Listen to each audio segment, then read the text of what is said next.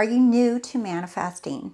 Or have you been around the block and you've been studying the law, the different laws of attraction and of assumption for a while?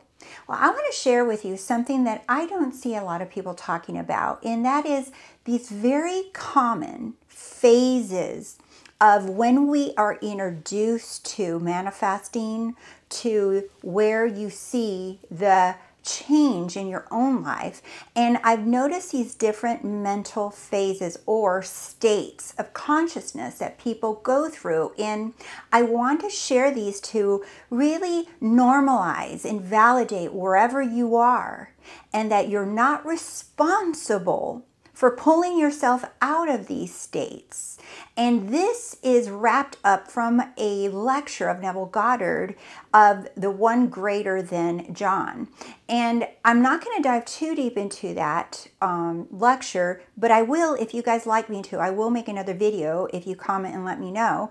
But I want to share with you, this video is more about the different states of consciousness, or let's call them phases that people go through when they learn about manifestation, and why it feels the way it does, and that you're not stuck. You're not even responsible. And why I'm, why I'm saying that is, is because you didn't put yourself there right? Remember, when you know who you are, you didn't put yourself there. So you're not responsible to get yourself out of this. You're not doing this alone. Welcome. My name is Rose. Welcome to the Rosey Life, where we help you free your mind and follow your heart so you live a life that you love. You notice I keep saying you, you, you, you, you, because it's all about you, you, you, you, you, or like that song, me, me, me, me, me. I don't know what song it is. Don't call me. But there is a song that starts off that way. Anyway, if you're interested in working one-on-one with me, you can go to roseylife.com. If you're expecting me to not be goofy and to be very luxury, this is not that channel, okay? Because this is goofball, and I like to make anything about manifesting and spirituality fun and easy, but profound. Okay, so ah, let's get to it. Oh, by the way, I have an exciting thing to tell you guys. For those of you who are looky-loos and haven't subscribed, you might want to start subscribing. I'm going to tell you why and put that little notification on. Here's why. Many of you know, and many of you are July, my July babies from last summer. Okay, so if you know, you know, right? If you're new, that's when the Rosey Life really started blowing up, but she's not done there. Oh no, Rosey Life's just begun. She's blowing up. But let me tell you what's happening this July, because in celebration of last July, I have a bunch of yummy, fun, delicious surprises for you guys. So there's going to be different points in July and I'm going to be sneaking in the middle of videos and I'm never going to say which one because it's a surprise. And I'm going to be doing certain giveaways for different things and you're not going to know what it is because I'm going to be sneaking them in the middle of a video.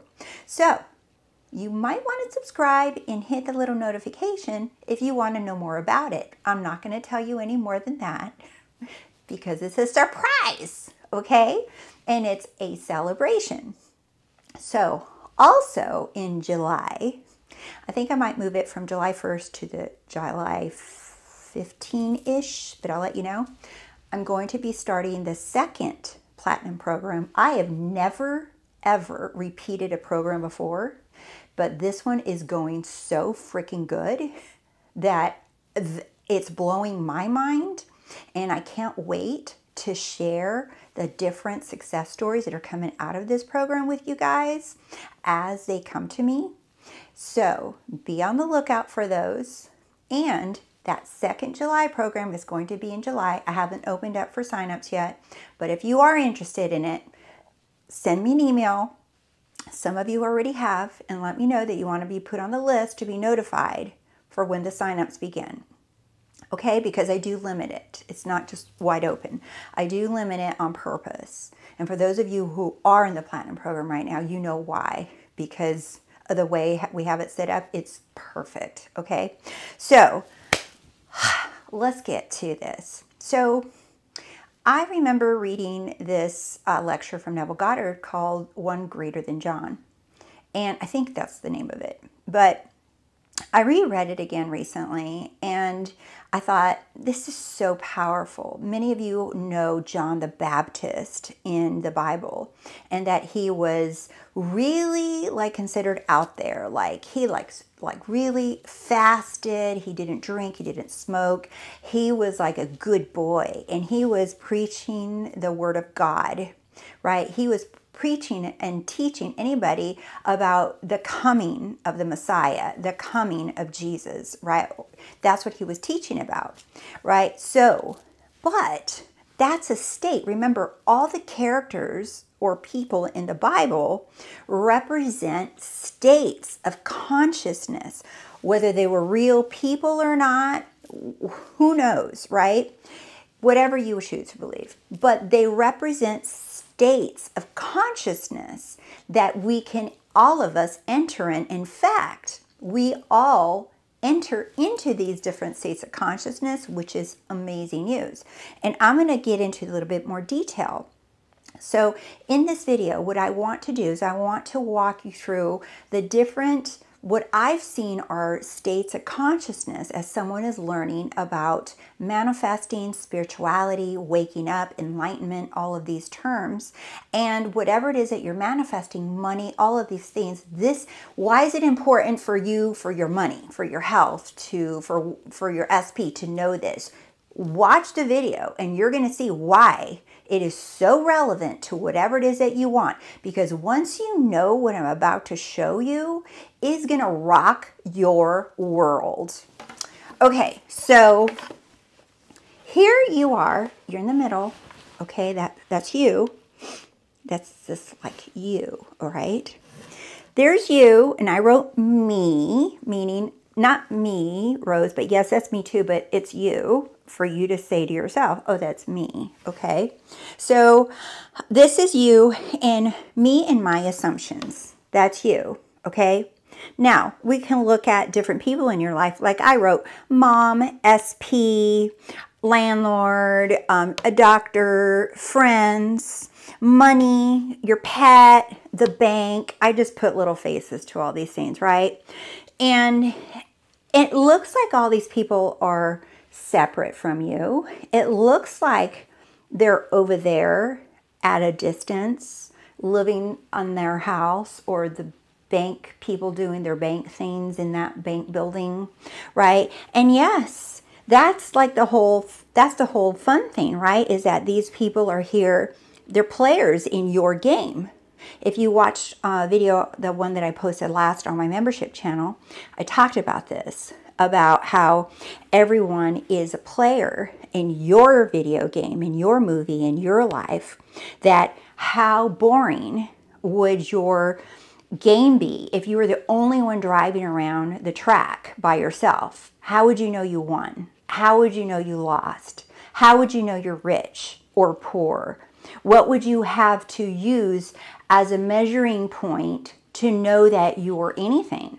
That you're healthy, that you're sick, that you have more, you have less. How would you ever know that if you were all by yourself in your game and there's no players? Do you see? So we have players in our game that help us live out our assumptions. So these players in our game help us live out our assumptions so that we can actually experience it being like, yeah, I'm, I'm the best. I, am I'm, I'm the winner. I won. I, I'm number one. I'm the one, right? How would you know if it was just by you were by yourself? Do you see? So how, how would you know you lost? And you're like, damn, I lost. How? How do you know if there's no one else playing with you? So that's why we have people and money or whatever, all the things in your life is to show you and to live out and have an experience of the thing that you believe to be true. Do you see? So, people and things in your experience, in your world, in your reality, they're here as messengers, reflections of your beliefs and assumptions about yourself or about anything. And they're just cooperating with you showing you what you got going on inside. It's that simple, you guys. It's that simple. So, but what happens? Many people will look at, let's say, your your your mom your mom let's say okay? Well let's not pick, pick at moms but okay let's think about your landlord. That could be a hit or miss depending on who you are right? Let's say you're looking at your landlord and you only see their face you only see what they're talking to you, what they're saying to you, what they're demanding of you, what they're requesting of you, or what they're doing for you, good, bad, or indifferent. Doesn't matter. Okay? You only see their face, their body, and their little contract in blah, blah, blah, whatever. Right? And then let's say that they say something that you don't like, and then you get upset with them. Okay, this has happened to me before, by the way, right? Let's say you look at them and they say something you don't like, all right? You're reacting to what you're assuming the landlord is. You're reacting to what you're assuming about landlords in general, about this specific landlord in, in specific, right? And maybe if it's a gender, woman or, or man, right, you might be reacting to that and, and all and all of it mixed up. So you're thinking you're having a conversation with a landlord and and that that they are that way and they're so mean and it's like no, they're only behaving based off of the your assumptions about the way you see yourself, if you see yourself as somebody that is walked all over or scammed or used or neglected or not prioritized, and the way that you're seeing them. Do you see? And the way that you're seeing them is always a reflection on how you see yourself. So here you think that this person's separate from you and that you're having an interaction with them, right? But I want to take it a step further. Yes, it's about you, but I want to take it a step further. They are just a costume. They are just in a, a, costume, a physical costume, a representation, a symbol representation of what you assume a landlord would do or think or be or, or act like. But what really, what's behind them? In, set, in, in other words, what's at the core of them? Who are they really? They're God. That's love. Their source, their universe, their energy. And ha- that energy, God, source, right, is held, it looks like the way your landlord does, held together by your beliefs about your landlord, landlords in general, and about the concept of yourself. So, whatever that is, whatever that little combo you got going on, and it's easy to know because if they say something, how you react to it, what you're feeling, what you're thinking and that they're saying or what you're feeling about what they're saying, that's showing you what you believe. So that is what's holding it together. That is why they appear the way they do. Do you see? But doesn't matter because within them, they're God. That's God consciousness. That's source. Same thing with your mom. No matter how they behave, no matter how they act, no matter what they say, they're held together by your beliefs and assumptions about a mother, about your mother, about how you see yourself. And they it feels like they taught you stuff feels like it's their fault or their to credit or their to blame but it's you it's all you it's all you.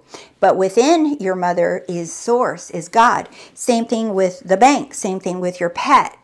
It's all you. It's all you. Everything, your SP, your friends, everything, everyone, money, it's all you. It's your beliefs about it, it's a belief about yourself, and a belief about the thing, it's all you and it's all reflecting you. That's why, do you see? It's you and it's all emanating, it's all coming from you. You're sending those little red lines represent all your assumptions and beliefs about yourself and about those things. Do you see? And about yourself and those things, it's the same thing. Whatever you think and assume about them is you're creating that assumption about yourself, okay? And or you're also just looking at that person that way. Okay? So the little heart is God, I am, in all forms. So it doesn't matter what is appearing in your reality, if it's a dog, money, the bank, your mom, a friend, all forms, it's still all God because there's nothing but God. Do you see? So the little stick figures are costumes, personality, things that God occupies, including you. You are also your own manifestation. So all these little things are are costumes, right? They're like costumes, but what's in what's behind the costume?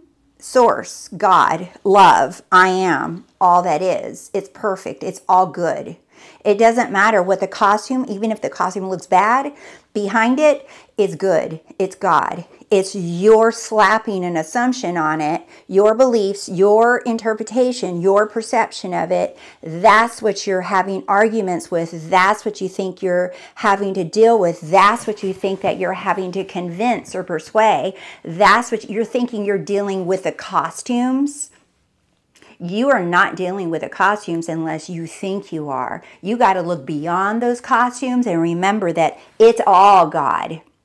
It's all source. So when you say you when you declare something as source, as God, that's why it's all you.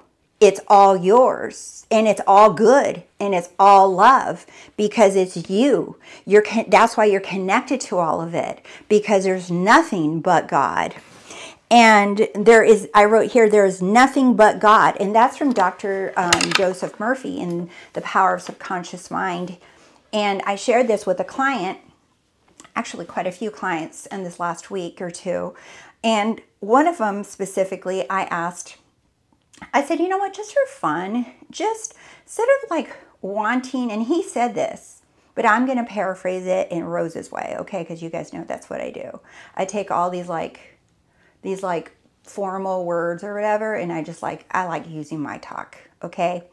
And so, in other words, he didn't say it this way, but this is what he was saying. Okay. He said, Can you, for just one day, stop asking for stuff and stop going around affirming and asking, Where is it? and stop imagining and affirming and putting post-it notes all over your damn car in your house and stop wondering and worrying and searching and watching videos and reading more books and crying and saying what's wrong with me can you just for one freaking day just not do that Instead, I'm going to have you do this. I'm going to I'm going to suggest that you go around all day long and just say there is nothing but God.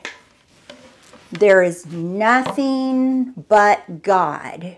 It's all God. It's all love. It's all good. So that's what he told, I guess, somebody he was meeting with in his days to do. And he said, Watch the miracles that take place when you put your focus on the kingdom of God, which is within you, which is all that is. So I suggested this to a few of my clients, and one of them, she took it and ran and did it right away. And and just a couple days ago, she posted, and she's also in the Rosey Life course and community, and she's in the platinum program. She's like in everything, right? Because when you're in the platinum program, I give you access to all my every. If I have something, you guys get it, whatever it is. I you guys have access to it. Um, any courses, programs, books, whatever. Okay, but anyway, she posted in the community, and she said I did it, and she said I was so stuck on some things and the next day I received so many aha I received the actual ideas on what action to take on certain things that I needed to do about her business. She couldn't see it before and she was frustrated and she was able to see it and take these different actions.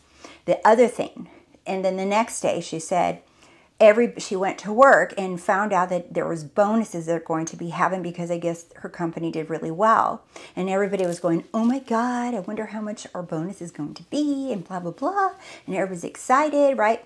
And in her mind, she said, "I'm going to get the biggest bonus out of everybody." And that's it. And she kept go- going with, "There's nothing but God." There's nothing but God. I guess a little while later or the next day, whatever, I don't know the timing of it exactly, she got called into her boss's office because it was her turn to go get her check for her bonus, right? So she goes in there and the boss says, Here's your check. And by the way, you got the biggest bonus. That's right, folks. She did that. But notice how it was like no effort involved because you're the only one saying this is effort, that this has to be work. There is no work. It's clear. Be still and know that I'm God. Sit your butt down. Remember who you are. Remember that it's already yours. I gave you everything. I have given you the kingdom of God. That's God telling us all. I already gave it to you. What more do you want? Why are you begging and asking and praying on your knees and efforting and, and sweating your little your, your little hair out of worrying about where your stuff is? Do you, because I already gave it to you. Can't, can't you accept my gift? I gave it to you and accepting it but you're like no i got to do something i got i got to be the doo-doo person that's what i call these my clients that come and say okay so how, what do i need to do to be that I said, listen to your question. You're still focused on doing. Stop being the doo doo person and just be. Be still and know I am God. I, I, it's very clear. You don't have to do anything. You already made the decision. You already pointed out what you wanted, and that's already clear. And you can tell yourself if you want to remind yourself and tell yourself that's what I chose. I'm her, I'm her, I'm her, I'm her. That's cool. But don't think that that's going to make anything happen. That's not causing anything to happen because you already have it. You already made it happen before you even asked for it. And you didn't even make it happen because it was happened for you. Remember, it was a gift. So it was already happening, and now you're just pointing it out, saying, I'm her, I'm her, I'm her. You're, do you see? It's a lot easier than we're thinking it is. So here are the phases that I've noticed, and I want to preface this that this is coming from my experience, number one. Two, this is what I've seen in a lot of people in my clients and and and this is some of the stuff that I went through and I'm talking about people that come from that they don't they don't know anything about law of assumption like we're starting there okay to people that have been studying it for their whole life all right? And these different phases are not mandatory. They in fact they're they're nowhere written that you have to go through them right? But they are phases that we all go through and i pulled these out from from the book of john and that and that uh, that lecture from Neville Goddard, that one greater than John. And I'm going to show you what biblically he's talking about. Because remember, John the Baptist was the one that was like sacrificing, him eating, him doing, and he was just preaching the coming of the Messiah. That was what he was doing.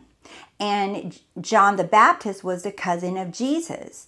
And Jesus, when he arrived, and John was like, Oh, yeah, dude, okay, it's about time. You got to go out and tell them everything. Well, here's here's the difference, and I'm going to kind of give you a little glimpse of this, okay? First first phase, let's call it. You believe that there's you, I, and that there's a 3D. And that notice the arrows, and that the 3D is showing you what you can have, what you can do, and what you have a limitation towards. Like you have to work with it. You got to do what the 3D is telling you to do. And that this is what you're qualified for. This is what you can have. This is where you grew up. So this is what you're used to. This is your beliefs. Um, this is this is all the education you have. Then this is all you can do. You can't have any more. You can't do any more okay? It the 3d showing you that the 1% has all the money and that you gotta you gotta fight to get your little pie but you're never gonna be that 1% that's not you. This that is that kind of thinking.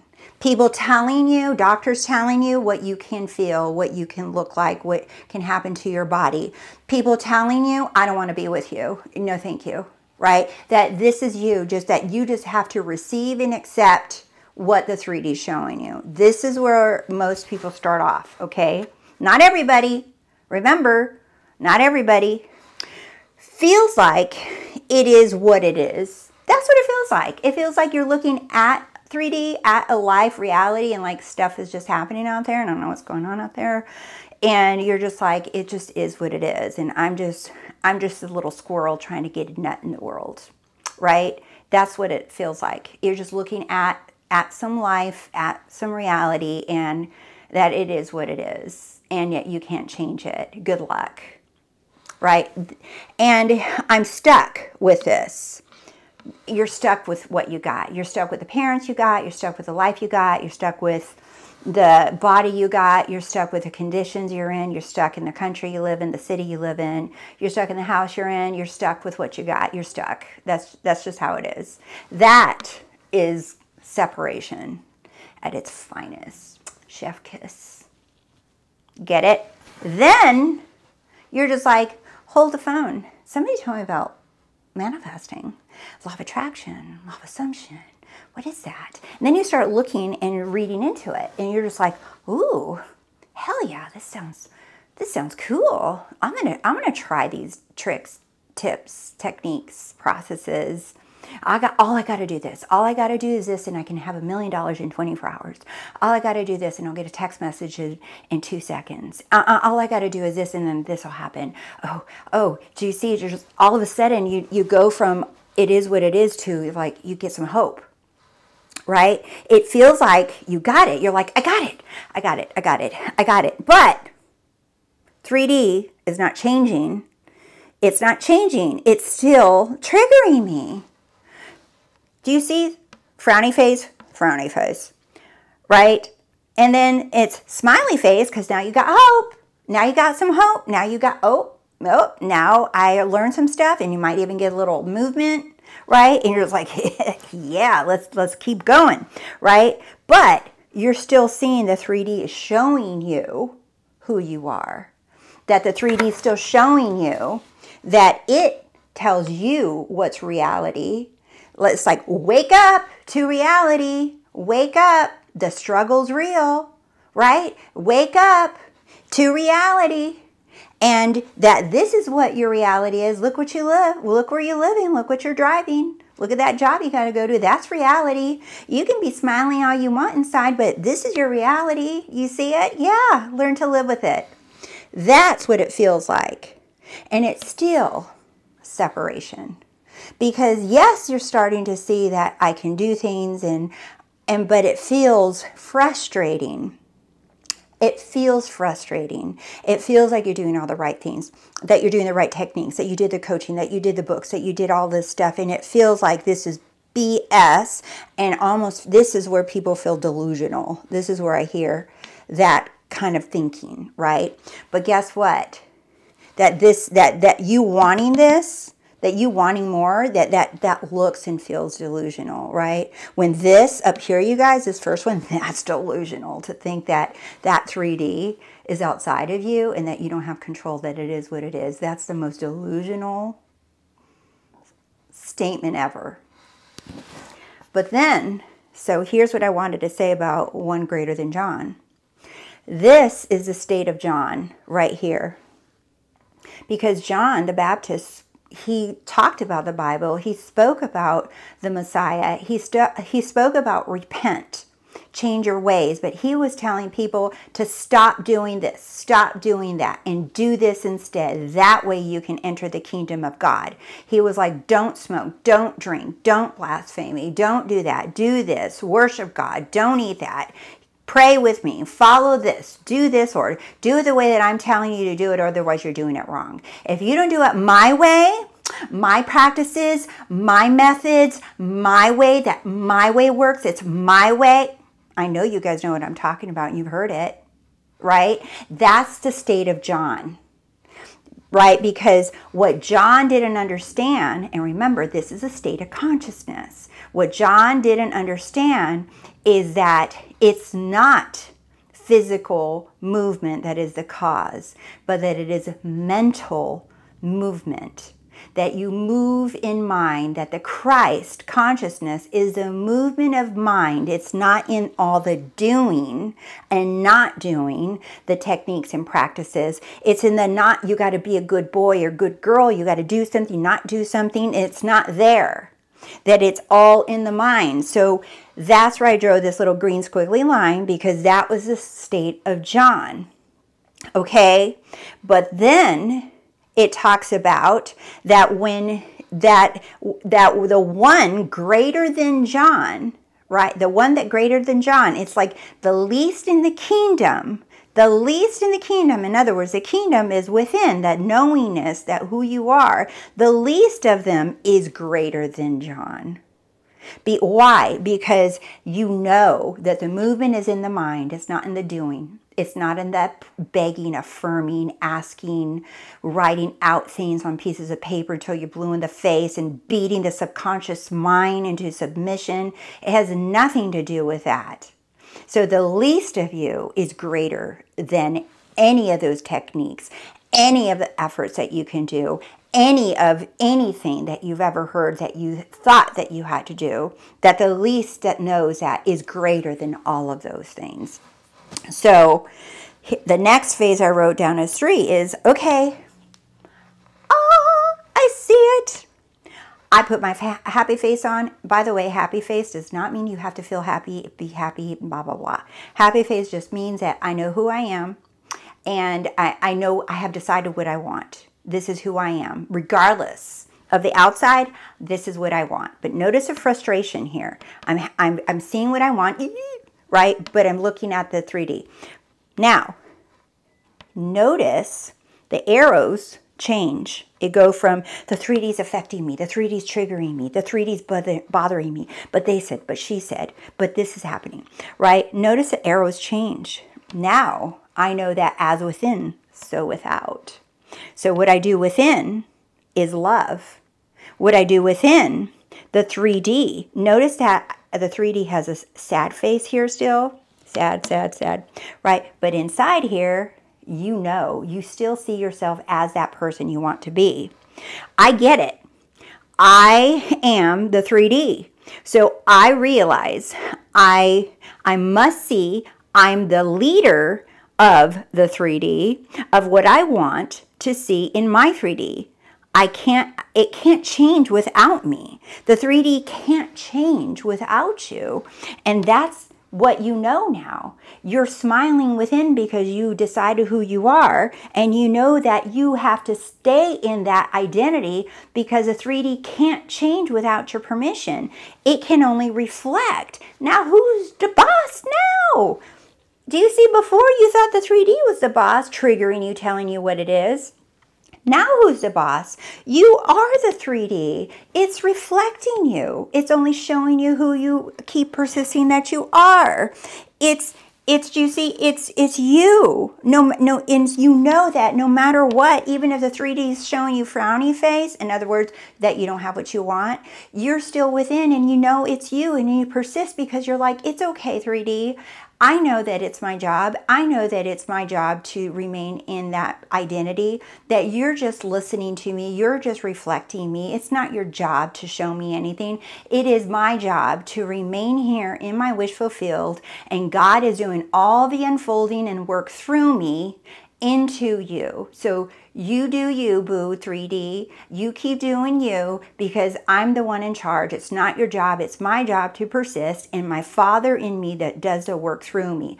God, source, the universe, infinite intelligence is doing all of the work through me. And he's doing it all, the, all the changing, shuffling around, whatever the hell terminology you want to use, okay, doesn't matter. It's I'm persisting in my decision regardless of what I'm looking at. It's not your job, it's my job to remain and say who I am. And it's not about until it conforms, until it changes. It's already there.